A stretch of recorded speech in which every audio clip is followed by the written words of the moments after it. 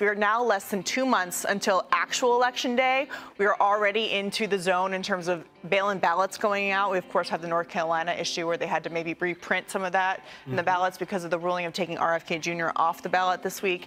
And so this debate actually does matter. So for people saying that it, it won't, of course it will matter. And I think it's going to matter, of course, in terms of people looking at the issues in the swing states where there are very few undecided voters and whether they're going to decide between Kamala Harris and Donald Trump. The political landscape of 2024 is marked by unprecedented shifts and surprises. What began as a typical election cycle has transformed into a high stakes drama captivating the nation. At the center of this whirlwind stands Kamala Harris, thrust unexpectedly into the spotlight as the Democratic nominee for president after President Joe Biden's unexpected withdrawal from the race. The transition from Biden to Harris has been abrupt and jarring for many. As one commentator notes, but Biden is moving on. His campaign is moving on. He's attending events in New York and New Jersey this weekend in hopes of quieting post debate panic. And as he campaigned with the New York Hamptons elite, Biden doubled down against the naysayers, telling the crowd, quote, I didn't have a great night, but neither did Trump. I still believe this nation is honest and decent. Donald Trump will destroy democracy. I will defend it. I promise you, we're going to win this election. Biden's departure from the race has left many Democrats scrambling to adjust their strategies and messaging. The party faces the challenge of rallying behind a new standard bearer while maintaining the momentum of their previous campaign. Harris, for her part, finds herself in a precarious position. As a former vice president stepping into the role of presidential candidate, she faces scrutiny from all sides. Critics are quick to point out her past record and question her readiness for the highest office. Yeah, well, when she says that she is willing to tackle inflation on day one, that's like someone who lights a house on fire and then conveniently calls the fire department and wants all of the credit for somehow saving the remnants of what they've destroyed. You know, Kamala Harris was the last vote to get the Inflation Induction Act, it's technically called the Inflation Reduction Act, over the finish line, which really boosted inflation and caused a lot of damage for Americans across the country. And when you look at this polling, it's quite interesting to see that with all of the honeymoon talk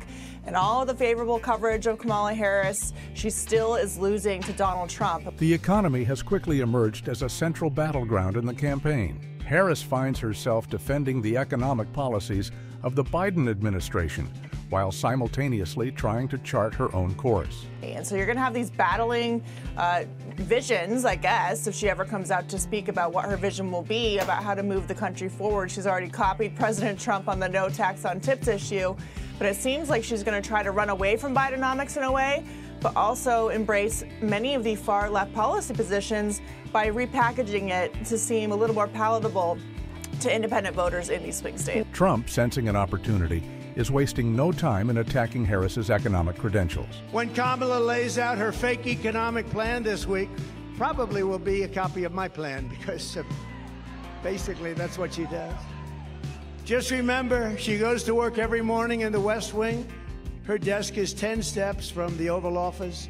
She cast the tie breaking votes that gave us record inflation. As the campaign intensifies, Harris finds herself grappling with her past positions and trying to appeal to a broader electorate. It's so interesting because if, if, if far left policies that she has held, not only just over the past four years as the vice president to Joe Biden, has, who ran as a moderate but really has had one of the most liberal presidencies in modern times. But if you look at her record of running in 2019 and 2020, if those policies were popular, they would not be running away from them. She would be embracing her, quote, principled stand on all of these issues. Instead, they're running far away from them because they don't sit well with the American people, especially with the voters that she needs independence. The media's role in shaping public perception has become a contentious issue throughout the campaign. Critics are accusing major outlets of biased reporting, with some arguing that the coverage favors Harris. Donald Trump has gotten 90% negative coverage. Mm-hmm. It's already been analyzed. She's gotten 90% positive coverage, and they're complaining about it. Now, you expect MSNBC to take you out of context. You don't expect the Associated Press. They're a wire service. You're right. They're supposed to play it straight. The issue of media bias came to a head with a controversial headline from the Associated Press regarding comments made by Senator J.D. Vance about school shootings. Well, some blatant and jaw dropping dishonesty from Team Kamala and the media. The Associated Press taking J.D. Vance completely out of context over comments the senator made about the tragic school shooting in Georgia that killed four people. The AP blasting out this bogus headline that reads, quote, J.D. Vance says school shootings are a fact of life, calls for better security. But here's what Vance actually said. I don't like that this is a fact of life. But if you're if you are a psycho and you want to make headlines, you realize that our schools are soft targets. And we have got to bolster security at our schools.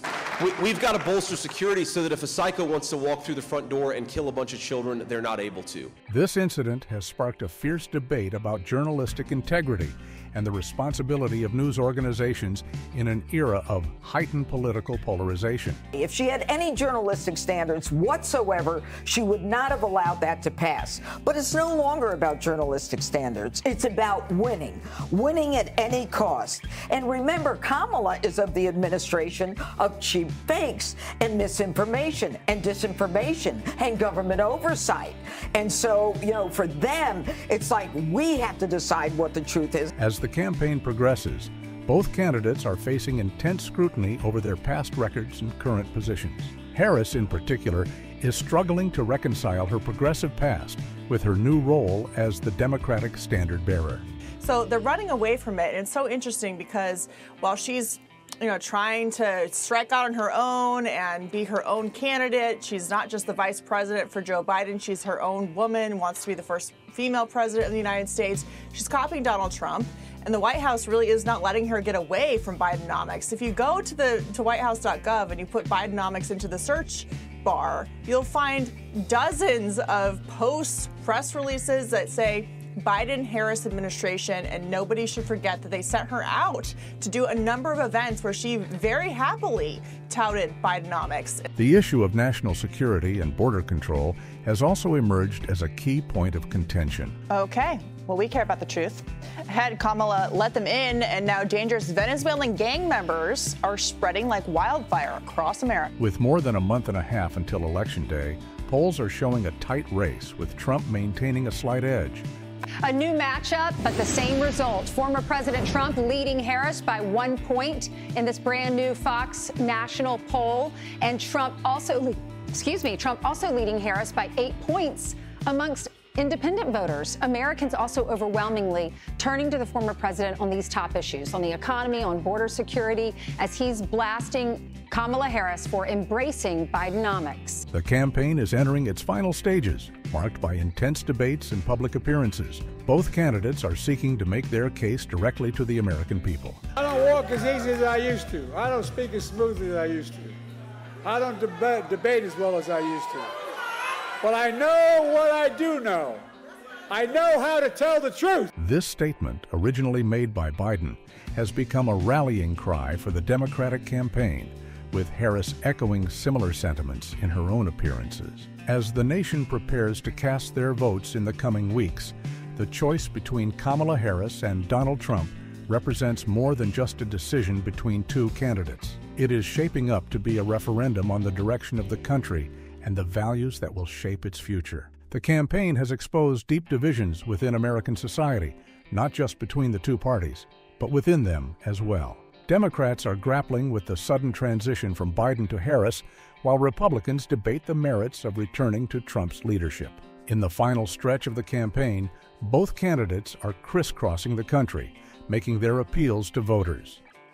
We had a big victory against a man that really is looking to destroy our country. He's the worst, he's the most corrupt, the most incompetent president in the history of our country. Joe Biden's policies are causing America's decline at a level that we've never seen before. Trump's fiery rhetoric contrasts sharply with Harris's more measured approach as she seeks to present herself as a unifying figure. Kamala has declared that tackling inflation will be a day one priority. Think of it for her, but day one for Kamala was three and a half years ago. Why hasn't she done it?